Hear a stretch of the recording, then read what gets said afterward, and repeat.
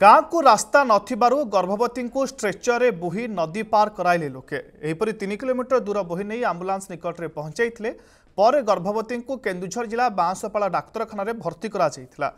ଖୋଦ୍ ଦକ୍ଷତା ଓ ବିକାଶ ମନ୍ତ୍ରୀ ପ୍ରେମାନନ୍ଦ ନାୟକଙ୍କ ତେଲକୋଇ ନିର୍ବାଚନ ମଣ୍ଡଳୀ ଅନ୍ତର୍ଗତ ବାଁଶପାଳ ବ୍ଲକ ନୟାକୋଟ ପଞ୍ଚାୟତ ଶାଗପାଲି ଗାଁରେ ଦେଖିବାକୁ ମିଳିଛି ଏଭଳି ଘଟଣା।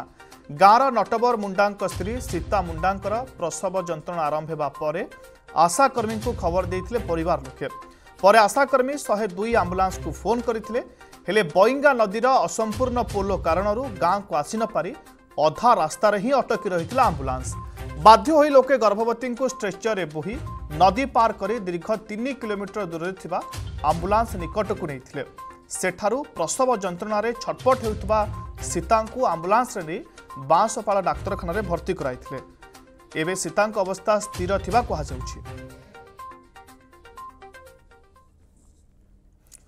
ମାଷ୍ଟର ସରିନମ ଆମ କେନ୍ଦୁଝର ପ୍ରତିନିଧି ଫୋନ୍ ଲାଇନ୍ ଅଛନ୍ତି। ଅଧିକ ସୂଚନା ପାଇଁ ସରିନମ ଜାଣିବାକୁ ଚାହୁଁଛୁ ଯେ ବିକଳ ସ୍ୱାସ୍ଥ୍ୟ ଅବସ୍ଥାର ଆଉ ଏକ ସଜଳ ଚିତ୍ର କୁହାଯାଇପାରେ ୟାକୁ ଏବଂ ସ୍ୱାସ୍ଥ୍ୟ ସେବା କିଭଳି ଭାବେ ରାଜ୍ୟ ସରକାରଙ୍କର ଜାରି ରହିଛି ଏବଂ ଖାସ୍ କରି ଗମନାଗମନ ସୁବିଧା ନ ହୋଇପାରିଥିବାରୁ କେଉଁଭଳି ଲୋକେ ହଇରାଣ ହରକତ ହେଉଛନ୍ତି ତାହାର ଏକ ଆଉ ଏକ ଜ୍ୱଳନ୍ତ ଉଦାହରଣ।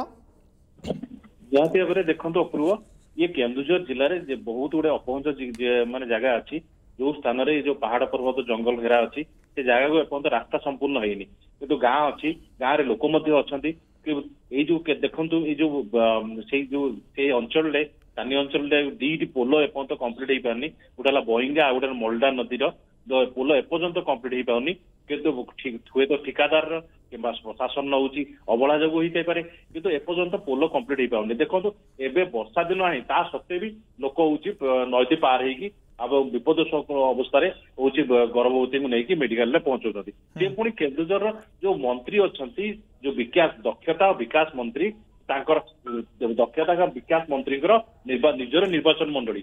ତେଣୁ ଏଇଥିରୁ ପ- ମାନେ ସ୍ପଷ୍ଟ ଅନୁମାନ କରୁଛି ମନ୍ତ୍ରୀ କେବଳ ଘରେ ଶୁଅନ୍ତି ନହେଲେ ଖାଲି ଫଳକ ଉନ୍ମୋଚନ କରନ୍ତି। କିନ୍ତୁ କୌଣସି ଜାଗାକୁ ସେ ଗ୍ରାଉଣ୍ଡ ରୁଟକୁ ଯାଆନ୍ତିନି କି କୌଣସି କ- ମାନେ କଣ ବିକାଶ ଉପରେ ତାଙ୍କର ନ- କୌଣସି ନଜର ନଥାଏ। ଓକେ ବହୁତ ବହୁତ ଧନ୍ୟବାଦ। ମାଷ୍ଟର ସରିନମ ଆମ କେନ୍ଦୁଝର ପ୍ରତିନିଧି ଏ ନେଇ ଅପଡେଟ୍ ଦେଉଥିଲେ ଯେ କେଉଁଭଳି ଭାବେ ସ୍ୱାସ୍ଥ୍ୟ ସେବାର ବିକଳ ଚିତ୍ର ସାମ୍ନାକୁ ଆସିଛି ଏବଂ ଖାସ୍ କରି ଗମନାଗମନର ସୁବିଧା ନଥିବାରୁ ଗର୍ଭବତୀଙ୍କୁ ତିନି କିଲୋମିଟରରେ ତିନି କିଲୋମିଟର ଷ୍ଟ୍ରେଚରରେ ବୋହି ନେବାକୁ ପଡ଼ିଛି। ତାହାର ଆଉ ଏକ ଅଭାବନୀୟ ଚିତ୍ର ସାମ୍ନାକୁ ଆସିଛି କେନ୍ଦୁଝର ବାଁଶପାଳ ଅଞ୍ଚଳରୁ।